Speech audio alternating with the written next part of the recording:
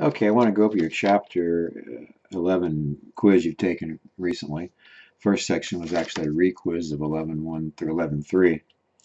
The first problem is a parallelogram, and we need to find its area. Uh, I didn't have that 9 marked on there originally, it was on the other side, but opposite sides are congruent, so I get one over here too.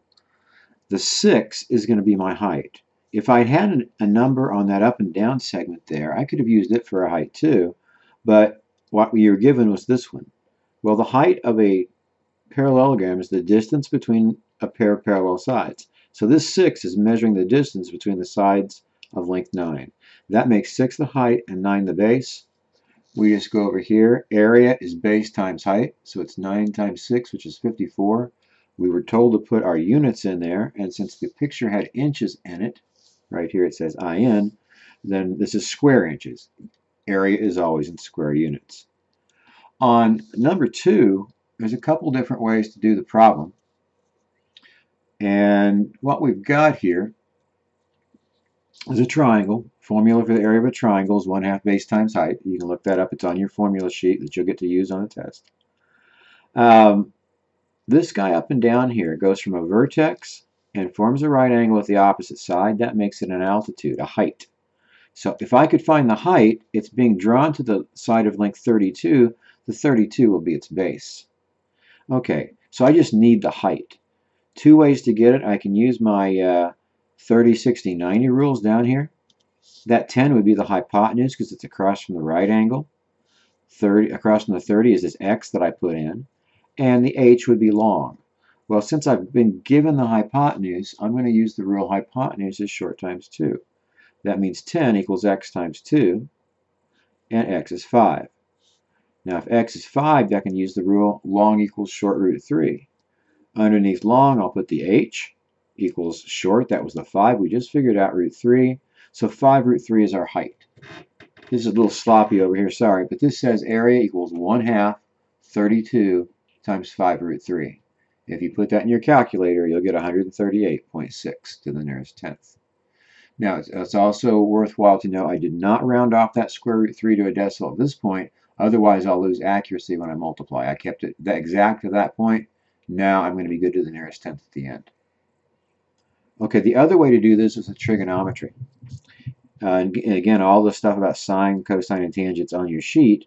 Sine is opposite over hypotenuse. So if you're at the 60, h is the opposite, 10 is the hypotenuse. So sine of 60 is h over 10. Solving that for h, you get 10 sine 60 for your value of h. So I showed that calculation up above. 1 half of the base, 32 times 10 sine 60. Of course, it's the same, 138.6. And you should practice on your calculator and make sure you can get these decimal answers. Problem number four is one of the easier ones on the page. It's a trapezoid problem and the height of the trapezoid, a trapezoid just has one pair of parallel sides, and its height is the distance between those sides. So this 6, although they show a dotted line for the height over there, because of the right angle right over here, this can also be the height. Those are the same. Uh, fine, I'm doing a video. Okay, so um, we've got area, the formula for number 3, is that, I'll write it underneath the line, area is 1 half the height times the base is added. And again, that's on your formula sheet. So you just look it up and plug in what you've got. So this is area equals 1 half of the height, 6, times the base is added, 12 plus 8. And that's going to give us 3 times 20 is 60. My units, if they had asked for them, would have been square meters. I'll go ahead and write that in. Okay, number five, we have a rhombus. We know that because all the sides are marked congruent. And it's a little hard to see here, but you're given this little segment there is 5. Diagonals of a rhombus bisect each other, so the other side is 5. That makes this segment going across, which is called a diagonal, we call it diagonal 1, is 10. My other diagonal, that's a little hard to read, but on your paper it's easy, 25. This part's 25, and 25 plus 25 is 50. That makes our second diagonal 50. the formula is 1 half d1 d2. And again, you can look that up on your formula page. So I take 1 half of 10 times 50, and that's 250. Units would be square feet, but you weren't required to put them in on that problem. Problem number five is a triangle problem. And we know some things. We know the area of the triangle is 200. We know the height is twice the length of the base. Well, we can convert that. Height, h, is equals twice the base, 2b. well, the area formula for a triangle is that the area is 1 half base times height. So we're just going to plug into that formula. Area, 200, equals 1 half base, which was uh, just b, I don't know it yet, times the height, and instead of putting the h, I'm going to put 2b in its place, because 2b is the height. Now, I don't like having the half there, so I'll multiply by 2. That'll make this 400 over here, and that will get rid of the 1 half from that side. And b times 2b is 2b squared. That's going to mean if I divide by 2, I'm going to get that 200 equals b squared. With the benefit of hindsight, uh, I could have just canceled the 2 and the 2 and get b squared equals 200 a lot faster. Now that means that b is the square root of 200. Well, we're not simplified, but that's okay because uh, we're going to convert it to a decimal to the nearest tenth in a second anyway.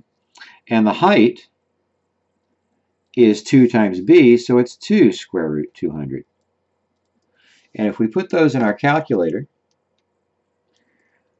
uh, the square root of 200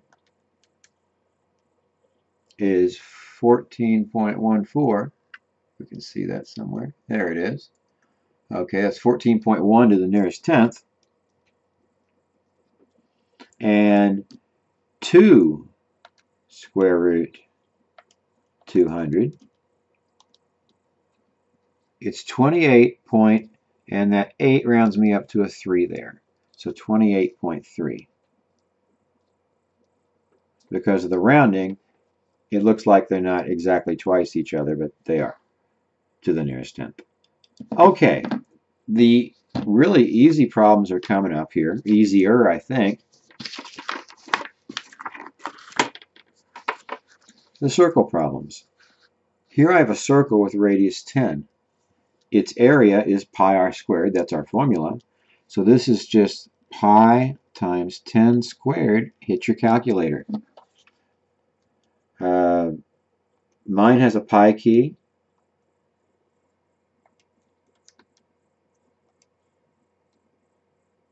314.152, 159, uh, that would round to 314.2. So 314.2, these would be square centimeters, but again, you weren't required to put that down. On our next problem, we're showing a diameter. All I wanted you to know is you need to cut that in half to make it a radius, that would be 6, and now your area, same formula, pi times 6 squared, or 36 pi. That guy up top would have been 100 pi after I did my squaring. Um, so this is 36 pi 113 and you got an 09 there on the calculator so the 09 is going to round you up to uh, a 1 113.1 uh, I didn't have any units so I can't really respond to that Okay, the area of this shaded region here. Well, I've got 100 for the arc and 6 over here for the radius. Well, the formula says you just take the degrees in the arc, you divide it by 360, and multiply it by the area, pi r squared. So this is 100 over 360 times pi times 6 squared. And we can put that all in the calculator at once. 100 divided by 360 times pi times 6 squared. Alrighty. Here we go. 31.4.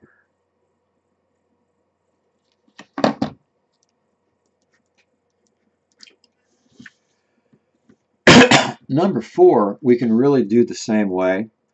Technically, this area out here is not a sector, but it's exactly the same idea. If I just notice that if that's 30, there's 330 for the rest of the circle, this shaded area is 330 out of 360 degrees. And what's being taken out of it is that 30 degree central angle. So the fastest way to do this one is to go 330 over 360 times pi times the radius 7 squared. And if I do that, 330 divided by 360 times pi times 7 squared. 141.1.